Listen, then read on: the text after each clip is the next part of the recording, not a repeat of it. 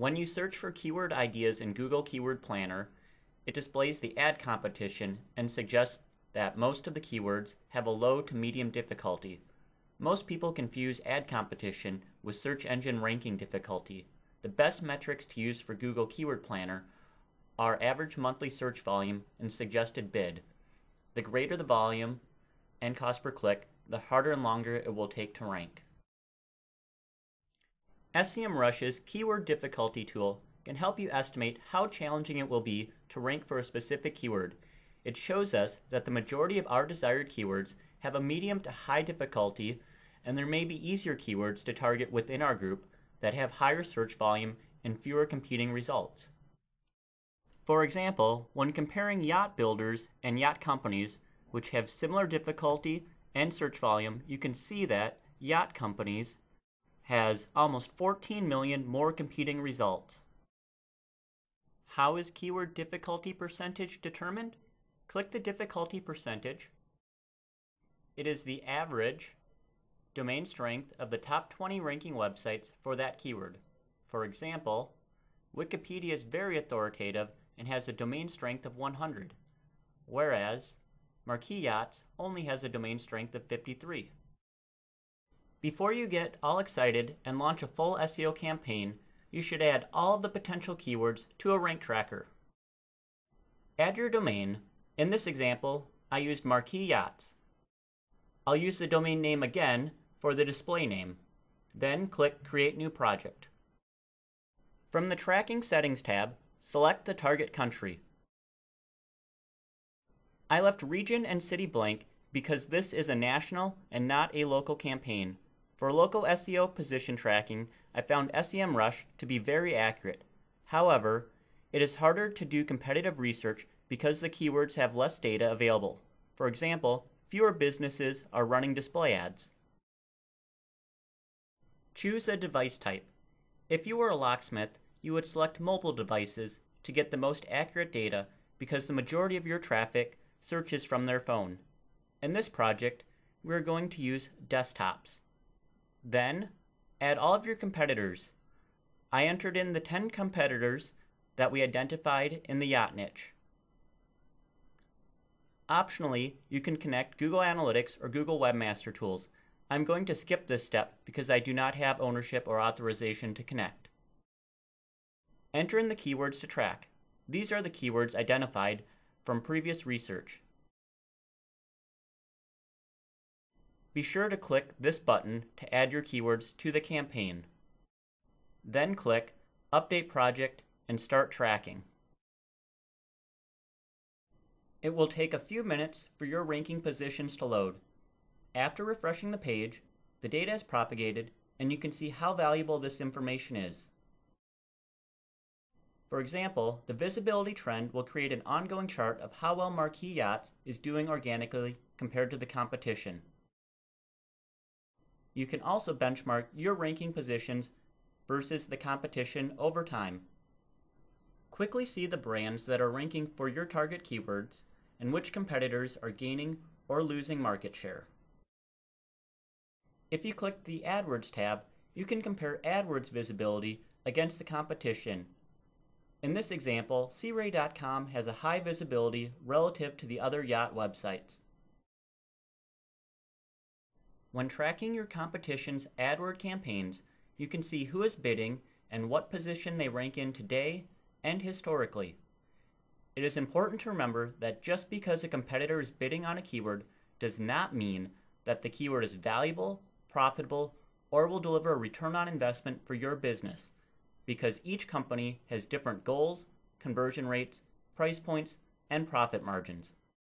MarquisYachts.com is on the first page for a number of organic keywords and should have a good idea of how valuable or not valuable each keyword is and how well it converts. As an SEO, this helps us determine if we should continue to optimize for these and related keywords or if we should abandon them because they do not provide return on investment. Before you abandon a keyword, always be sure to conversion rate optimize your landing page through split testing. This should also give you an idea if similar keywords will convert. For example, yacht manufacturers compared to yacht builders and yacht companies. However, we do not have first-hand experience to know if keywords related to yachts for sale are valuable. One huge mistake that most inexperienced companies and SEOs make is they decide to spend thousands of dollars and months of time optimizing for search engines without knowing if a keyword is profitable. Avoid this common pitfall by testing with paid traffic first. Create a landing page and split test multiple designs and headlines. If the paid campaign is successful, then launch an SEO campaign with the page optimized for search. Keep in mind that a page optimized for SEO typically will not convert as well as a landing page optimized for PPC.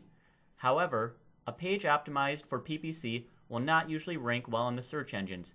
Each keyword group should have one target page for SEO that is indexed by search engines and one target page for PPC that is not. Before you launch any SEO campaign, view the search results for all the keywords you plan to optimize. For example, the keyword yacht has Wikipedia ranking number one and is probably very difficult to overtake. The organic position, number three, is pushed down below the news, and the fourth position is below images. This means it will require a lot of extra effort to get visibility for the keyword yacht. Also remember to take into consideration ads that may display above below, and in the sidebar. The keyword yachts has yachtworld.com ranked number one, followed by some images appearing above the organic number two spot. It appears that Marquis Yachts may be able to outrank Wikipedia as two other sites have already done. This is a good opportunity because the third position gets significantly more traffic than the fourth listing. Luxury Yacht has images in the top spot and the number one organic listing is pushed down. Motor yachts is an interesting keyword because brands and resellers are ranking well, and there is not a listing for Wikipedia on page 1. For the keyword yacht sales, Google is displaying local results which will take away traffic from big brands. And for buy a yacht, there are several informational pieces or guides ranking. This may be an opportunity to create a tip page about what to look for when buying a yacht. The search for yacht manufacturers shows several yacht brands and Wikipedia. On the list of boat builders page, a search for marquis yachts displays no results. This is a good opportunity to get a link from Wikipedia which has a high domain authority and trust. Until I did a search, I was unsure about the keyword yacht boat. There are dealers and resellers listed, as well as images, news, and articles. This probably is not a good opportunity because of the extra competition. The same also applies to the keyword boat yacht. Another reason why you should do these queries is to gain insight. You may have noticed that not one particular yacht manufacturer dominates for every target keyword. This tells me that yacht manufacturers are focusing on small sets of keywords and most may not be optimizing at all. This is the exact opposite of the loan niche where almost every website is optimized. With this new information, and because we were not previously ranking, I removed boat yacht and yacht boat from rank tracking. In the next video, you will learn how to determine if a keyword is valuable by testing with PPC landing pages before starting an SEO campaign.